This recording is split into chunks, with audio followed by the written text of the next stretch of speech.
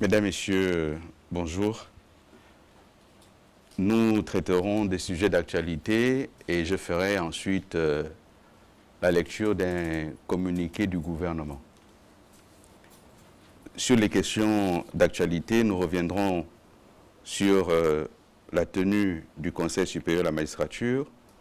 Nous ferons le point sur un certain nombre d'engagements pris par le gouvernement s'agissant de la liquidation de quelques instances. Nous parlerons de la décennie de la femme avec la caravane qui se poursuit. Nous ferons quelques autres points qui ont marqué l'actualité ces derniers jours. Et comme je vous le disais tantôt, je lirai ensuite un communiqué du gouvernement. S'agissant du premier point, comme euh, vous le savez, un conseil supérieur de la magistrature s'est tenu au palais de la présidence de la République le mardi 12 mai 2016 sous la haute présidence de son Excellence Ali Bongo Ndimba, président de la République, chef de l'État, président du Conseil supérieur de la magistrature.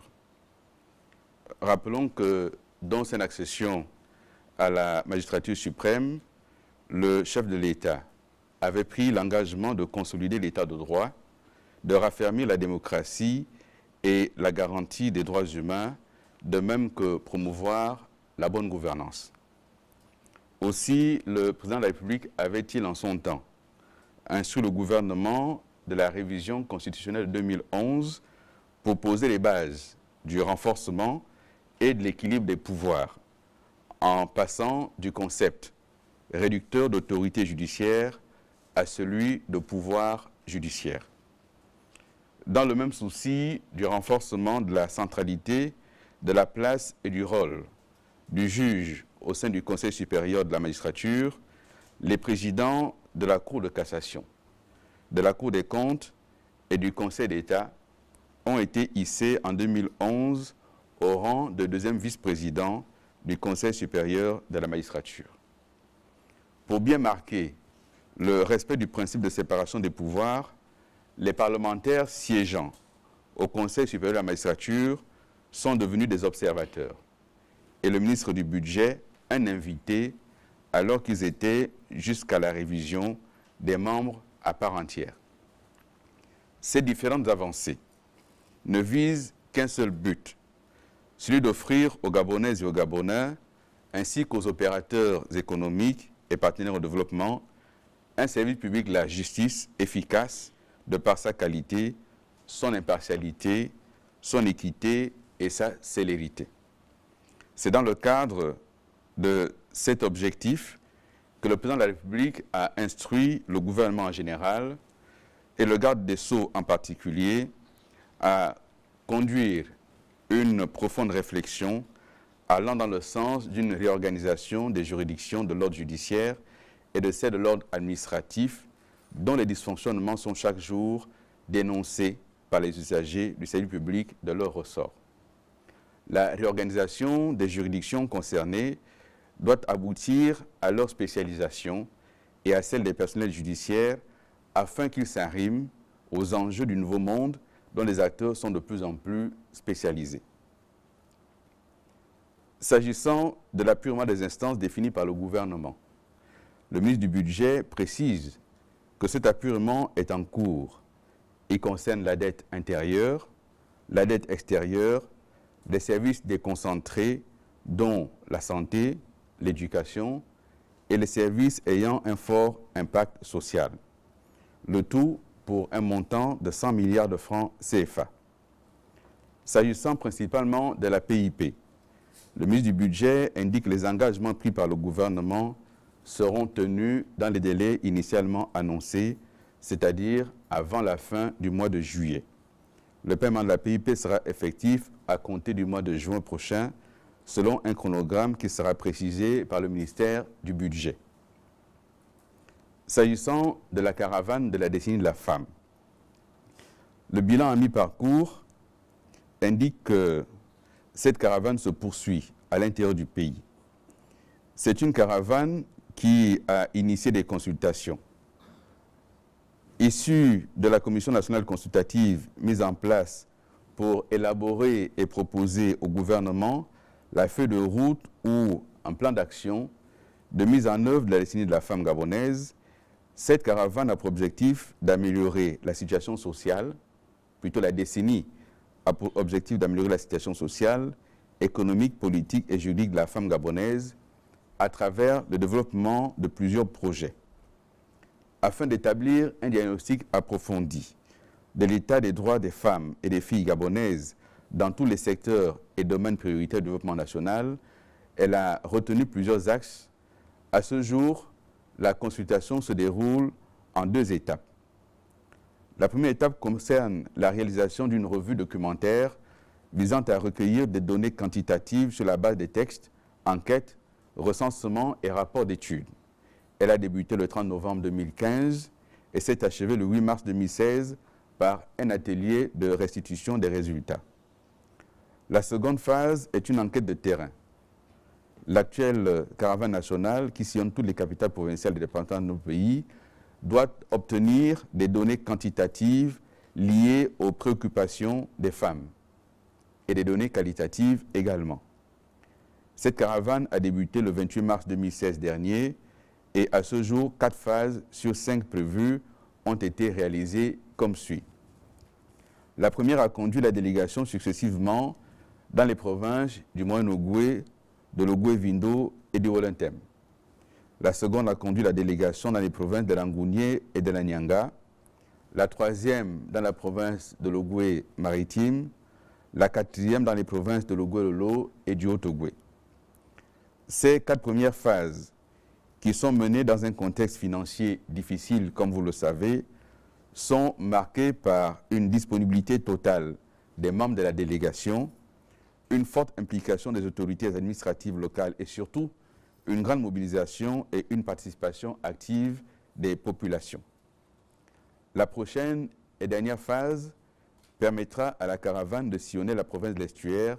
Ce sera dans la semaine 23 et 28 mai. À la fin de cette étape, la Commission, au mois de juin 2016, produira un rapport final de la consultation nationale sur la destinée de la femme gabonaise qui sera remis à son Excellence Ali Bongo Ndimba, président de la République, chef de l'État.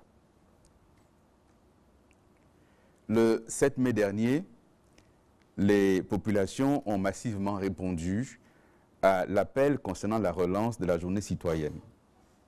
En effet, population et administration centrale et décentralisée ont tenu à faire de cette journée propre une réussite, un franc succès. Le chef de l'État a lui-même participé aux activités, notamment aux côtés de Madame le maire de Libreville. C'est une euh, activité qui avait été initiée et qui se déroulait le premier mercredi du mois. Elle a connu des fortunes euh, diverses et le Conseil des ministres a décidé de la relancer et de tenir compte de ce que le mercredi étant un jour ouvré, les populations qui voulaient bien s'impliquer ne pouvaient pas concilier activité professionnelle et bénévolat dans la propriété de la ville. D'où il a été préconisé d'instituer cette journée désormais le samedi. La première de cette euh, reprise a donc eu lieu le samedi 7 mai la prochaine est prévue le samedi 4 juin. Naturellement, les hommes de médias devraient également s'impliquer. Et je vois que Gabon Télévision et Radio Gabon, dans le cas de la maison Georges Laguerie, sont en train pleinement d'essayer de ravaler la façade après avoir amélioré euh, le contenu. Espérons que tout cela va se poursuivre. Une autre euh, actualité a concerné la visite par le chef de l'État du chantier de construction de l'hôpital euh, Jeanne Ebory, plutôt le CHU, mère et enfant Jeanne Ebory. Cette visite était très importante dans la mesure où, comme vous le savez, le projet de construction du CHU Jeanne Ebory avait suscité quelques polémiques et parfois même des colibets, dans la mesure où certains avaient indiqué que le chef de l'État détruisait là l'œuvre du président Omar Bongo Ontimba. Il se trouve que chacun peut observer euh, que cet imposant euh, édifice pousse sous nos yeux et que sous nos yeux, chacun observe la beauté de l'édifice qui aujourd'hui est achevé à près de 80%. C'est un hôpital qui sera spécialisé pour la santé de la mère et de l'enfant et c'est un hôpital de classe mondiale à vocation sous-régionale. Il s'agit donc d'offrir aux Gabonaises et aux Gabonais un espace qui viendra compléter l'offre de soins dans notre pays. Sur euh, votre agenda, notez que le chef de l'État séjourne actuellement à Kigali pour participer aux côtés d'autres dirigeants du monde au Forum économique mondial sur l'Afrique qui cette année a un objectif précis, réfléchir à la question de l'économie numérique et à la transformation numérique de l'Afrique. Le chef de l'État se rendra également à Abuja au Nigeria pour participer aux côtés de plusieurs autres chefs d'État et de gouvernement à un sommet sur la sécurité dans notre sous-région et bien entendu dans la sous-région Afrique de l'Ouest. Le chef de l'État y représente notre pays, mais il est également président, comme vous le savez, en exercice de la CEAC. E S'agissant à présent du communiqué du gouvernement, l'opinion nationale a pu suivre il y a quelques jours sur les antennes de Gabon Télévision une brève vidéo de l'un des candidats déclarés de l'opposition à l'élection présidentielle de cette année, M. Jean Ping. Extrait au cours duquel ce dernier appelle clairement à la guerre civile et à l'élimination d'une partie de la population gabonaise qualifiée de cafard. Dans cette vidéo, M. Jean Ping emploie des termes guerriers. Il parle entre autres de réveiller les morts du cimetière d'Omboué pour aller combattre. Car, dit-il, c'est une question de survie. Il précise qu'il s'agit, je le cite à nouveau, d'une expédition pour se débarrasser des cafards. Fin de citation. Ce sont des termes sans équivoque qui rappellent certaines tragédies de l'histoire de l'humanité. Adolf Hitler traita les juifs de cafards. Il y eut 6 millions de juifs morts pendant la Seconde Guerre mondiale dans les camps de concentration. Plus près de nous, au cœur de l'Afrique centrale, des extrémistes Hutus traitèrent les Tutsis de cafards.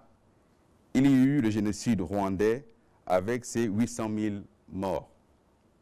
Il n'y a pas si longtemps, Muammar Kadhafi, que Jean Ping défendit dans un livre, traita une partie de son peuple des mêmes termes de cafards. Il y eut des milliers de morts. Le gouvernement de la République, soucieux de maintenir l'unité nationale, de garantir la sécurité, la stabilité, la paix et la cohésion sociale, aux côtés de son Excellence Ali Bongo Ondimba, président de la République, chef de l'État, relève l'extrême gravité de ses propos. Le gouvernement note que ces propos, qu'il condamne avec la plus grande fermeté, sont l'expression d'une violence verbale sans précédent dans notre pays. Ces propos prouvent également les limites d'une opposition en manque de projet et de crédibilité. Une opposition qui n'a que la guerre et le chaos à proposer aux populations. Le gouvernement de la République, tout en marquant son étonnement face au silence des acteurs politiques, de la société civile et des médias, y compris les médias internationaux, explorent toutes les voies de droit pour donner une suite judiciaire à ces propos qu'aucune démocratie au monde ne peut ni tolérer ni accepter. Je vous remercie.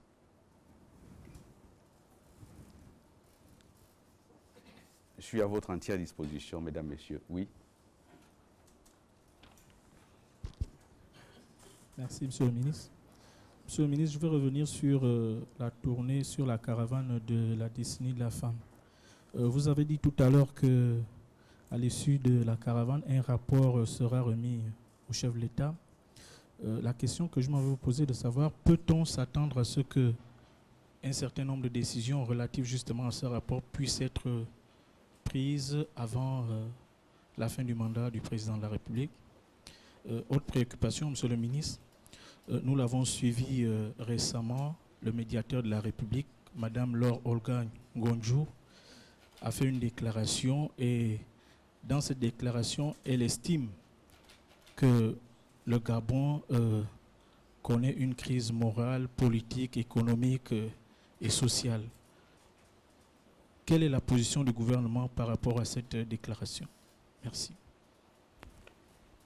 Concernant la décennie de la femme, le président de la République avait euh, indiqué au mois de septembre 2012, lors de son discours devant les deux chambres du Parlement réunies en congrès, qu'il était important de faire en sorte que les textes de notre pays, les administrations, la scène politique, la scène économique rééquilibrent la part de pouvoir avec la gente féminine.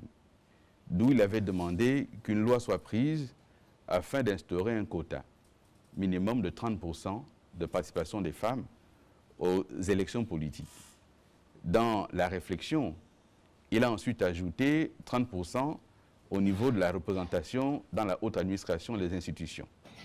Le président de la République est passé donc de la parole aux actes en faisant en sorte que cette loi soit adoptée, promulguée et mise en, en pratique. C'était un premier axe. Le second axe, c'est que la caravane va permettre d'identifier les éléments de droit, tout comme les éléments objectifs de fait, qui aujourd'hui sont encore euh, discriminatoires à l'égard des femmes. Et le rapport permettra d'identifier tout cela et le gouvernement devra donc, à la suite des décisions prises par le chef de l'État, mettre en œuvre des mécanismes pour corriger ces dysfonctionnements. Il s'agira donc pour les textes, si c'est des textes de loi, de les amender ou d'abroger. Si c'est des décrets, ce sera plus simple et les arrêter également. Donc, dans tous les cas, le rapport servira, à prendre des, décisions très très rapidement. Vous parlez de décisions prises avant la fin du mandat, on verra bien la nature du rapport. Il est trop tôt pour euh, vous dire quel type de décisions pourront être prises avant la fin du mandat. Donc nous verrons en fonction du rapport qui sera fourni par euh, la, Commission nationale sur la décennie de la femme. Concernant la prise de position de Mme Laure Gangonjou en sa qualité de médiateur de la République, la position du gouvernement n'a pas varié et ne variera pas. Le Gabon n'est pas dans la situation de crise qui est décrite. Le Gabon, comme d'autres pays africains, ou même en dehors de l'Afrique, connaît des difficultés qui ne sont pas à nier.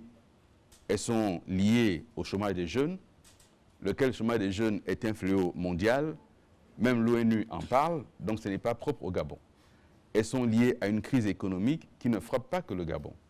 Elles sont liées à des problèmes de développement que connaissent tous les pays d'Afrique. Les disparités entre les régions, euh, l'urbanisation euh, accélérée et mal maîtrisée, tout ceci entraîne des dysfonctionnements que connaissent tous les pays africains. Quant à la question politique, nous vivons aujourd'hui dans un monde qui est désormais ouvert et où on peut voir, grâce à la télévision, tout ce qui se passe dans d'autres pays à travers le monde. Nous parlons de quoi? Dans notre pays. D'une situation survenue à l'Assemblée nationale. Un président a démissionné. Est-ce la première fois? La réponse est non. Nous parlons de quoi? De une dizaine de députés qui sont partis. Est-ce la première fois? Oui, dans ce nombre-là. Est-ce dramatique? Non. Pourquoi? Parce que la, la majorité à l'Assemblée nationale, dont dispose le Parti démocratique gabonais, malgré le départ des autres, n'empêche pas le fonctionnement de l'Assemblée nationale. Donc, il n'y a pas de crise au point de dramatiser et de penser que nous courons vers le chaos. Il y a une élection présidentielle que le pays prépare dans la sérénité, avec l'implication des organisations internationales qui le veulent bien.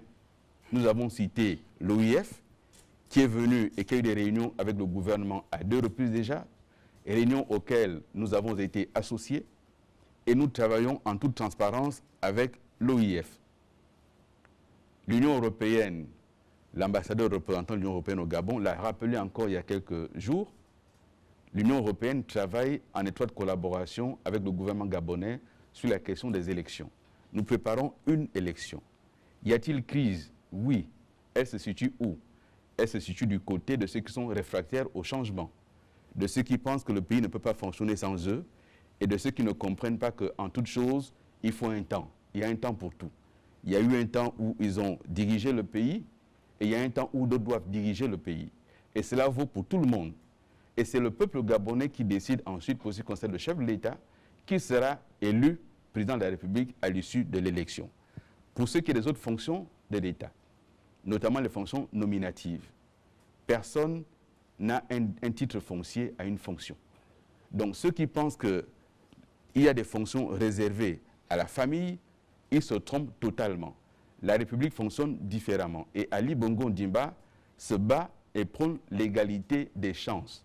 Ça veut dire qu'il ne devrait plus y avoir dans notre pays de postes réservés au nom ou au sang. C'est chacun en fonction de son mérite et de ses capacités. Ceux qui ne le comprennent pas, c'est eux qui crient à la crise parce qu'ils ne sont plus aux responsabilités ou que les choses ne fonctionnent plus comme avant. Il faut le dire très, très clairement. Le pays prépare une élection qui va avoir lieu dans quelques mois, telle que fixée par la Constitution.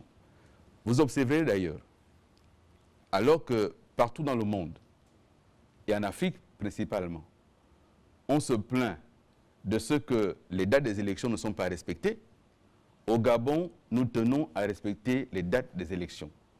Et les partenaires du Gabon nous soutiennent dans cette démarche, que ce soit la France, les États-Unis, l'Union européenne, l'OIF, l'Union africaine, chacun soutient le Gabon dans sa volonté de respecter les délais constitutionnels.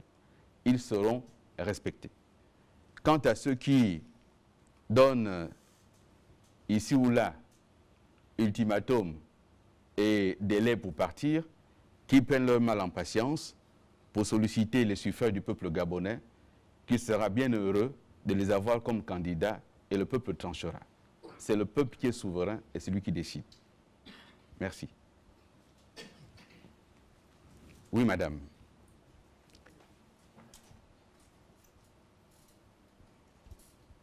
Bonsoir, monsieur le ministre.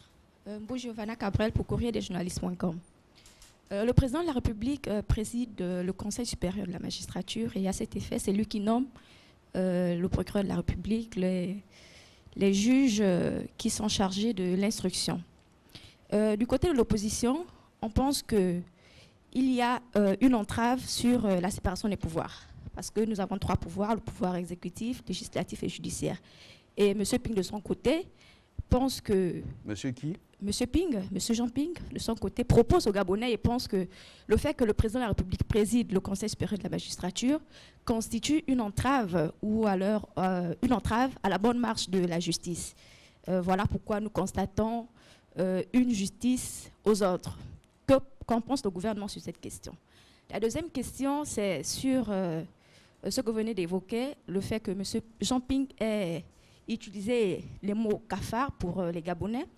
Euh, nous savons que la RTG, notamment, diffuse rarement les événements relatifs, euh, euh, ce qui concerne l'opposition. Et vous l'avez évoqué tout à l'heure, la RTG a, diffusé ça, où M. Ping parlait de cafard ou traitait les Gabonais de cafard. nous étions tout à l'heure avec le conseil, le président du Conseil de la communication, Conseil national de la communication, et on parlait de la responsabilité des médias. Alors, comment la RTG peut diffuser de tels propos, sachant que ces, ces propos peuvent euh, amener à la révolte de la population? Merci.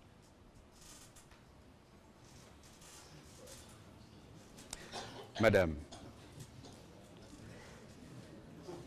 de celui qui crie au voleur ou le voleur, qui faut-il arrêter? Vous voulez inverser les rôles? M. Ping n'a pas tenu ses propos dans sa chambre à coucher. Il ne les a pas tenus à table avec ses enfants. Il les a tenus lors d'une réunion publique. Que Gabon Télévision ne diffuse pas souvent les propos de l'opposition, et c'est tant mieux. Si c'est ce genre de propos qu'on a tous les jours, c'est tant mieux pour notre pays. Nous avons déjà indiqué ici, et je le réitère, Gabon Télévision ne diffusera pas l'injure mais le propos est extrêmement grave et je m'étonne, madame, que vous tentiez de banaliser ce propos. Traiter des populations de cafards. Lorsqu'on a été ministre, ministre des Affaires étrangères, lorsqu'on a présidé au nom du Gabon l'Assemblée générale des Nations unies, lorsque au nom du Gabon, on a été président de la Commission de l'Union africaine Et lorsqu'on aspire aux plus hautes charges de l'État, on ne peut pas traiter tout ou partie de son peuple de cafard. Même son pire ennemi, ça ne se fait pas. Et donc c'est suffisamment grave pour être dénoncé et félicitations à Gabon Télévision de l'avoir diffusé. S'agissant de votre première question, voyez-vous, nous sommes dans un pays et ceux qui sont nés en 1996 et qui ont donc 20 ans peuvent penser que ce que propose M. Ping serait une innovation. Mais la vraie question qui se pose, madame, ce n'est pas d'aujourd'hui que le président de la République préside le Conseil supérieur de la magistrature. Il en a toujours été ainsi, y compris pendant les 25 ans que M. Ping a passé successivement au cabinet du président et au gouvernement. Il en a toujours été ainsi. L'opposition accuse M. Ping de plagiat. Et cette opposition qu'il accuse de plagiat indique clairement les éléments qui ont été piqués dans les projets des autres, dont celui que vous évoquez. J'ai indiqué au début les éléments qui font partie de la réforme de la justice, y compris la réforme du Conseil supérieur de la magistrature, où il a clairement été indiqué la séparation et la participation des uns et des autres. Les parlementaires participaient en tant que membres. Sous M. Ping, il ne l'a jamais dénoncé. Le gouvernement y participait en tant que membre. M. Ping ne l'a jamais dénoncé. Et qu'il propose une réforme de la justice, c'est très bien, nous devons aller vers la réforme de la justice, mais je connais d'autres démocraties de par le monde où le président de la République préside le Conseil supérieur de la magistrature. Vous en connaissez également, j'imagine. Ce n'est pas ça qui fait qu'il n'y ait pas d'indépendance de la justice. En France aussi, le procureur est nommé par l'exécutif. Et ne me dites pas que la France n'est pas un état de droit. Ça existe en France également. Et je rappelle que le Conseil supérieur de la magistrature, c'est un conseil et ce n'est pas le chef de l'État qui nomme, c'est le Conseil supérieur qui nomme. Donc, y siègent les présidents des hautes juridictions que je viens de rappeler. Ce sont eux qui siègent et qui font des propositions. Le président n'intervient pas dans les affaires de la justice et dans notre ordonnancement, le parquet relève du ministère de la Justice comme en France. Donc, si ceci veut dire que le Gabon n'est pas une démocratie, c'est que la France n'en est pas non plus. Merci. Oui Merci, Monsieur le ministre. Merci, Monsieur le, ministre. Olivier Bakendam Badinga, j'interviens au nom de Radio Gabon. Euh, je m'intéresse aux déclarations des hommes politiques euh, qui font aujourd'hui la une de l'actualité, notamment ceux qui étaient au PDG et qui ont changé de camp. Et là, je m'intéresse euh, au discours de l'ancien membre du, conseil consultatif des sages du PDG, euh, Jean-François Toutouméman, qui va, certainement s'adresser au public d'un tome. Il était à Libreville et je relève deux éléments de son discours. Il a annoncé, euh, il, a, il, a, il a jeté un regard sur la situation financière du Gabon et il a annoncé que d'ici là, euh, les caisses de l'État vont, vont, tarir. si cet élément ne constitue pas un, un motif de crainte, puisque il y a des années, notre homme, politique l'avait dit, et nous les agents, nous continuons à être payés, mais il, a dit autre chose qui cultive euh, la peur chez les Gabonais. Euh, il a parlé du climat d'insécurité qui prévoit en ce moment au Gabon, et le, qualifiant de plus délectaire. Il a, même annoncé euh, le départ des Ivoiriens. Donc selon lui, les Ivoiriens ne sont plus au Gabon et que dans quelques jours, les Burkinabés vont partir et que les Français seraient aussi en train de, de faire leur valise. Quel est le, regard du porte-parole du gouvernement sur euh, euh, ces déclarations Alors, s'agissant de ces déclarations de M. Toutouméman,